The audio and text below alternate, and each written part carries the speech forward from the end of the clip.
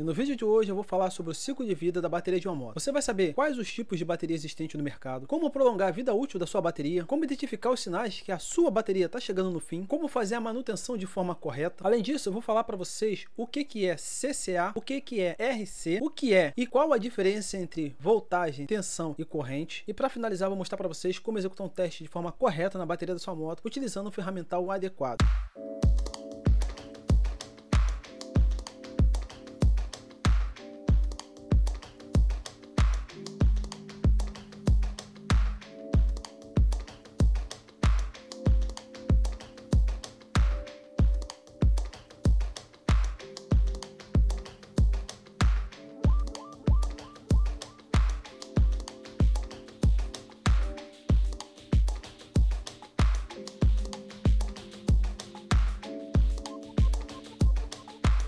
Olá pessoal, tudo bem? Meu nome é Eduardo, sejam bem-vindos ao canal Brasil Duas Rodas. Aqui você vai encontrar dicas de mecânica, pilotagem defensiva, dicas de viagem, review de produtos e acessórios para você e para sua moto, além de ficar por dentro das notícias mais importantes sobre o mundo do motociclismo. Então se você considera esse conteúdo importante, são só dois cliques, um para se inscrever e um para ativar as notificações.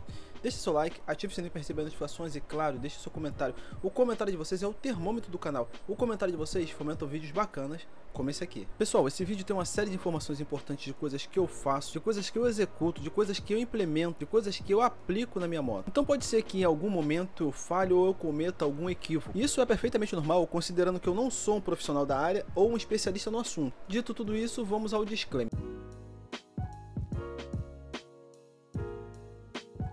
As baterias são componentes importantes de qualquer veículo e fazem parte do que eu chamo de componentes de um sistema elétrico. Esse sistema elétrico é dividido em sete partes sistema direcional, sistema de ignição, sistema de carga, sistema de força, sistema de iluminação, sistema de partida, sistema de injeção eletrônica. Cada uma dessas sete partes desempenha um papel fundamental no funcionamento de uma moto. Se vocês quiserem saber um pouco mais sobre cada um desses componentes que eu acabei de mostrar, deixe aqui nos comentários qual desses componentes vocês querem que eu fale de forma mais específica. Dentre esses sete componentes que eu acabei de listar, as baterias obviamente se encaixam dentro do sistema de força, já que ela fornece energia para dar partida no motor, alimenta os sistemas elétricos, alimenta os sistemas de iluminação entre outras funções. No entanto, as baterias não duram para sempre e é importante entender como elas funcionam para que a gente possa manter um bom estado e prolongar a vida útil dessa bateria. Todo sistema ou componente que possui como fonte de alimentação uma bateria tende a ter um ciclo de vida limitado. E quando eu falo em componente ou sistema, eu estou me referindo a um smartphone, um tablet, um laptop, uma câmera digital, um celular. Estou me referindo até mesmo a uma bateria de submarino. Obviamente que eu estou falando de submarino que possui como fonte de armazenamento de energia baterias aqueles que são movidos a diesel. Ele precisa subir a superfície, ligar os motores geradores, aqueles motores em funcionamento vão gerar energia, essa energia vai ser armazenada em bancos de bateria e ele vai poder desligar os motores a diesel e vai voltar a submergir. E ali ele vai ficar vários e vários dias até essa energia começar a reduzir e ele precisar emergir e repetir esse processo. Esse tipo de bateria, na verdade são bancos de bateria, possui um ciclo de vida muito maior, 10, 15, talvez até 20 anos, só fazendo aquelas manutenções preventivas. Já o submarino moderno vem com energia nuclear que duram 20, 30, 40, 50 anos sem precisar via superfície. A limitação vai ser unicamente para questões de alimentação da tripulação. Mas nós estamos falando de energia elétrica e não de energia nuclear. Aí a página muda, a história fica totalmente diferente. Esse tipo de energia elétrica armazenada em bancos de bateria tende a ser finito, ou seja, ele possui um fim. Em algum momento ele vai acabar. E você sabe por que isso ocorre? Isso está diretamente ligado ao que nós chamamos de ciclo de vida útil. O ciclo de vida vida útil de uma bateria se refere ao número de vezes que ela pode ser carregada e descarregada antes de perder sua capacidade de armazenar e segurar a carga. Cada vez que você carrega e descarrega completamente a bateria do seu dispositivo, isso conta como um ciclo de vida útil. Isso vai variar de acordo com o tipo de bateria e a forma como ela é utilizada. Por exemplo, em média o ciclo de vida útil de uma bateria de 7 A gira em torno de um ano e um ano e meio, mas isso vai variar de acordo com alguns fatores, como por exemplo, variações climáticas intensas, muito calor, muito frio, humildade, não adianta. Essa bateria vai durar pouco, não tem jeito. Vamos dar mais um exemplo, pessoal. Gosto de falar com vocês dando exemplo. Se você tem uma motocicleta que possui vários componentes eletrônicos nela, por exemplo, você possui rastreador, você possui bloqueador, você possui GPS, você possui carregador de celular, tudo embutido naquela bateria da moto. Obviamente que todos esses componentes vão consumir mais carga do que o normal. E o que, que vai acontecer? Essa bateria ela vai descarregar mais vezes do que essa. Consequentemente, o ciclo de vida útil da minha minha bateria ela vai ser bem menor. Eu falei sobre ciclo de vida útil de uma bateria, agora eu vou falar para vocês sobre os tipos de bateria existentes no mercado. Existem vários e vários tipos de baterias para motocicleta existentes no mercado. Porém, as mais comuns, mais utilizadas em motocicletas são dois tipos: as que possuem ácido na sua composição e as que possuem íon de lítio. E dentre esses dois tipos, existem algumas variações dentre elas. Por ter um custo relativamente barato, esse tipo de bateria possui uma popularidade muito difundida, além de possuir um custo relativamente barato comparado com outras baterias de tecnologia mais avançada, como por exemplo as de íon de lítio. Diferente das baterias de ácido com chumbo convencionais, as baterias de gel com ácido com chumbo utilizam gel como eletrólito em vez de líquidos. E as principais características são manutenção reduzida, resistente a vibrações, sem derramamento de eletrólito já que elas possuem gel, e como desvantagem ela possui um custo um pouco mais elevado, propensa à sobrecarga. Esse tipo de bateria tem baixa tolerância a variações de corrente, ou seja, qualquer variação de corrente pode prejudicar esse tipo de bateria. Esse tipo de bateria também possui gel na sua composição. A diferença é que ela possui a tecnologia AGM, que oferece até três vezes mais resistência do que as baterias convencionais. Esse tipo de bateria é perfeito para sistemas avançados tipo start-stop, ou seja, aquele tipo de bateria que necessita de uma carga mais rápida, uma energia imediata. E esse tipo de bateria com a tecnologia AGM permite esse tipo de recurso. As principais vantagens das baterias que possuem gel com a tecnologia AGM na sua composição são manutenção reduzida, resistências a vibrações, maior vida útil, sem derramamento de eletrólitos, já que, como eu falei anteriormente, esse tipo também possui gel na sua composição, maior capacidade de fornecer carga. E como desvantagem, ela possui um custo um pouco mais elevado do que a tecnologia de gel comum, é um pouco mais sensível à sobrecarga, ela possui baixa tolerância a variações climáticas, muito quente, muito frio, muito úmido, também prejudica esse tipo de tecnologia. E por último, ela possui uma baixa tolerância a variações de corrente, ou seja, se ela está recebendo energia que a corrente não esteja bem equiparada ali pelo retificador, esse tipo de bateria com essa tecnologia tende a sofrer impacto em função disso. Baterias de íon de lítio, sem dúvida, são as melhores do mercado. Isso porque possuem alta densidade energética, são extremamente leves, possuem uma recarga absurdamente rápida, uma baixa autodescarga e um ciclo de vida bem alto. Porém, nem tudo são flores. O custo de uma bateria de lítio é extremamente alto. A minha bateria, que é uma bateria de gel AGM, custou 170 reais. E na mesma ocasião, no local onde eu fui comprar minha bateria, a bateria de lítio custava 400 reais. A terceira desvantagem desse tipo de bateria é que esse tipo de bateria requer um carregador específico. Você não pode pegar um carregador que carregaria uma bateria de ácido com chumbo para carregar esse tipo de bateria. Como prolongar a vida útil da sua bateria?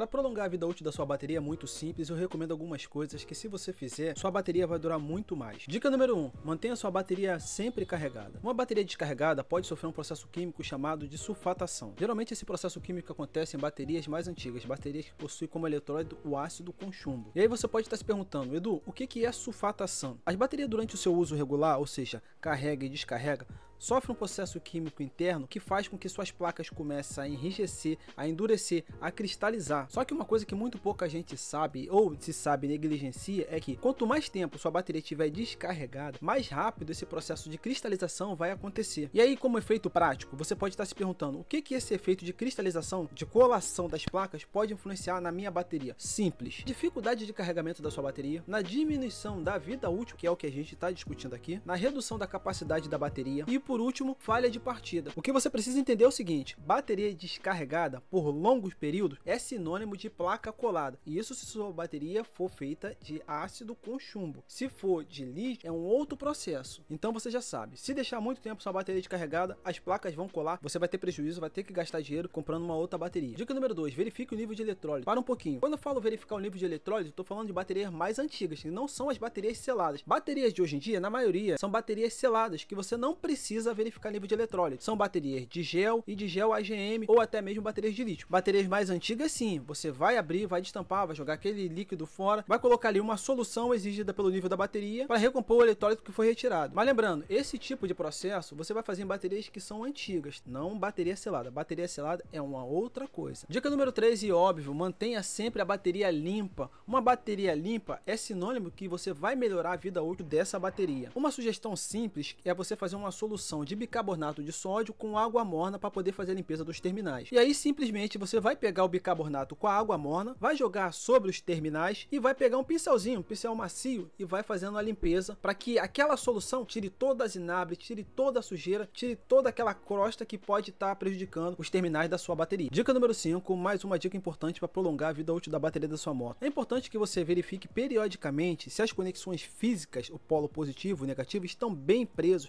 estão bem apertados.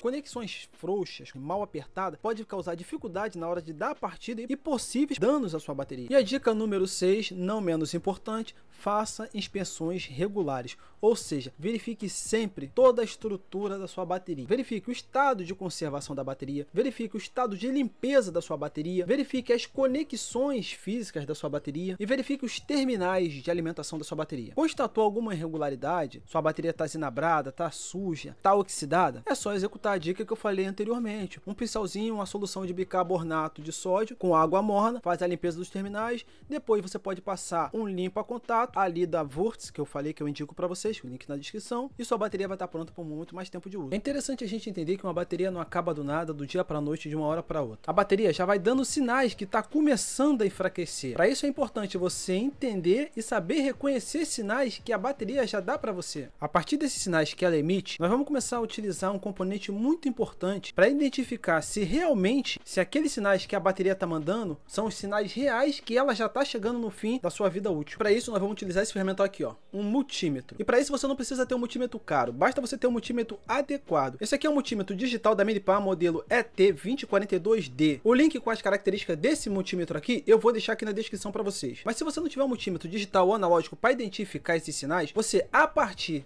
das informações que a moto passa para você, você consegue identificar que ela está chegando no fim da sua vida útil. E quais são esses sinais? A dificuldade de dar partida. Você ligou a moto, ela vira o motor com dificuldade, esse é o primeiro sinal que sua bateria já está começando a fraquejar, já está começando a emitir sinal para você que ela não está mais aguentando. Em um momento ou outro ela vai acabar parando. Segundo sinal que sua bateria está chegando no fim da vida útil, a diminuição das luzes, luzes de painel, luzes do farol, luzes de seta. Você ligou a moto, tá andando, sente uma diminuição ou o painel começa a diminuir a intensidade, a piscar, a luz apaga sozinha, a seta já não funciona como deveria, sinal que sua bateria também está chegando no fim da vida útil dela. E o último teste, não menos importante, que é o teste com o multímetro. Você vai pegar o multímetro, vai colocar na escala adequada de corrente contínua e vai efetuar a medição. A bateria por si só já te dá alguns parâmetros que você deve respeitar e levar em consideração através do teste com o multímetro. E esses parâmetros vai variar com a moto ligada ou desligada, sendo que uma moto ela não pode estar tá abaixo de 12 volts, porque a bateria pode ter problemas,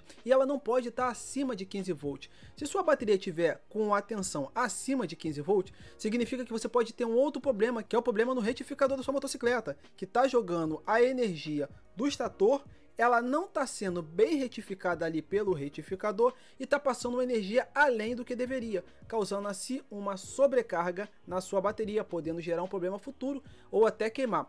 Falando de retificador, eu tenho um vídeo aqui no canal onde eu explico sobre um problema que eu tive na minha motocicleta causado justamente pelo retificador que não estava fazendo a leitura correta, mandando a tensão adequada de 12 volts para minha bateria. E com isso eu tive diversos problemas. Se você quiser saber um pouquinho mais, eu vou deixar o vídeo aqui ó, no card aqui em cima para vocês darem uma olhada. O que é tensão, voltagem e corrente? Começando pela corrente, de forma bem simplificada, bem simplificada mesmo, pessoal. A corrente nada mais é do que o fluxo de um elétron dentro de um condutor. A medida utilizada para esse conceito é dada em ampere. Eu gosto sempre de trabalhar com um exemplo que fica muito mais fácil de se entender. Se a tensão é a pressão de água dentro da borracha, a corrente é o volume de água que passa dentro dessa mangueira. Em uma moto, a corrente é responsável por alimentar dispositivos como faróis, buzinas e sistema de ignição. Vou falar agora um pouquinho sobre voltagem. A voltagem ou tensão elétrica são sinônimos. Ela é a diferença de potencial entre dois pontos dentro de um circuito elétrico. E a unidade de medida para essa grandeza é dada em volts. O que é CCA? O CCA é a medida utilizada para avaliar a capacidade de corrente que uma bateria tem de fornecer energia a uma determinada temperatura. De forma resumida, é importante você entender que quanto maior o CCA, melhor a qualidade daquela bateria. O que é RC? RC nada mais é do que a sigla para reserva de capacidade. Ela é uma medida da quantidade de tempo que uma bateria pode fornecer carga durante a sua vida útil, antes, obviamente, de ela ser completamente descarregada e perder totalmente a sua propriedade de servir como bateria. Outra coisa importante você entender é que quanto maior o RC de uma bateria, maior a capacidade dela de armazenar energia. Testes práticos. Seguindo o padrão com a moto desligada, a gente tem aqui entre 12,4 a 12,8.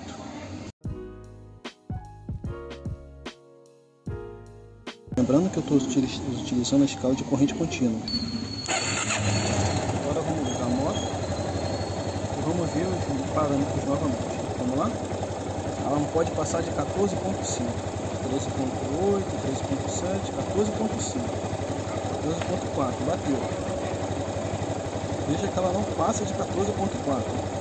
Agora eu vou tentar acelerar um pouquinho para ver em alta rotação se ela passa de 14.4. Aumentando a aceleração.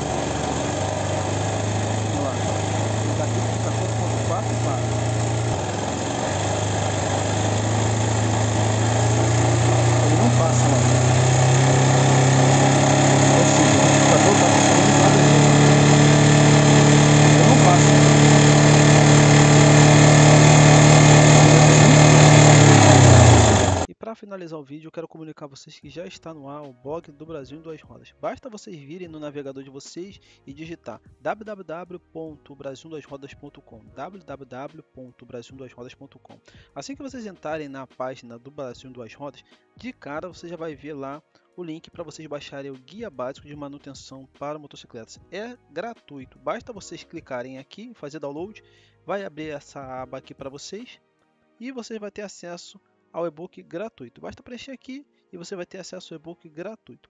Descendo um pouquinho mais aqui, tá, pessoal? Vocês vão ter acesso aos últimos artigos que eu escrevi aqui para o blog, tá bom? Eu falei recentemente sobre a Zonte 350 da Zonte, que é uma motocicleta espetacular. Anteriormente eu falei dos últimos lançamentos para 2024 do mercado nacional. Falei da Bajaj que vem chegando no Brasil com motocicletas é, abaixo de 15 mil reais. Descendo um pouquinho mais aqui, vocês vão ler outros artigos que escrevi aqui no blog, como pilotar em terra, cinco coisas sobre a KTM 1250 e aí por aí vai. Descendo um pouquinho mais aqui, ó, vocês vão ter acesso a alguns e-books que são comercializados por mim. Alguns já estão prontos, outros ainda estão em fase de edição, outros de produção. Por exemplo, como superar a ansiedade no motociclismo já está completo, já está disponível para comercialização. Também tem esse e-book aqui que já está disponível para comercialização aqui no blog, Síndrome do túnel do carpo em motociclista. Depois que eu sofri o meu acidente, eu tive que fazer a fisioterapia, eu descobri sobre essa síndrome que atinge milhares de motociclistas e muitos deles não sabem que tem essa síndrome. Muito interessante. Como eu falei, pessoal, alguns já estão completos, outros ainda estão em fase de produção. Mais abaixo aqui vocês terão acesso um pouco sobre a resenha do que é o e-book, do que se trata, tá certo? Se vocês descerem mais um pouquinho, vocês vão ter acesso aqui ao meu perfil quem sou eu, de onde eu vim e minha breve história no motociclismo, tá certo? Subindo aqui, pessoal, na aba de pesquisa, vocês vão ter acesso aqui ó, a diversos subtópicos. Por exemplo, na aba download, você vai ter acesso aos e-books disponíveis para download gratuitamente. Aqui do lado, você vai ter acesso à loja do Brasil em duas rodas. Clicando aqui na loja do Brasil em duas rodas, você vai ter acesso a alguns produtos e itens comercializados por mim e outros indicados por mim. Muitos desses produtos não são criados por mim. Eu sou simplesmente afiliado. Você comprando através através desse link aqui, eu vou ganhar uma pequena comissão que vai ajudar o blog do Brasil em Duas Rodas e o canal O Brasil em Duas Rodas. Mas aqui você tem um acesso completo a tudo tanto os e-books para comercialização, que são esses aqui, como eu falei, mais abaixo aqui você vai ter acesso a vestimentas, a peças e acessórios. Aqui, links para você comprar capacete, escolher, verificar e definir qual é o melhor capacete para você, botas, luvas, óculos, linha casual, todos esses produtos aqui, pessoal eu não sou o produtor, eu não sou o criador. Eu só apenas indico. Você comprando aqui, você vai estar tá ajudando o canal e o blog do Brasil em Duas Rodas. E é isso, pessoal. Já está no ar o blog do Brasil em Duas Rodas. Como eu falei, basta vocês digitarem no navegador de vocês www.brasilduasrodas.com Se vocês gostaram do vídeo, já se inscreve no canal, deixa seu like, ative o sininho para receber as notificações e, claro, deixe seu comentário. Porque, como eu sempre falo, o comentário de vocês é o termômetro do canal. O comentário de vocês fomentam vídeos bacanas como esse aqui. Fiquem todos com Deus e até o próximo vídeo. Tchau!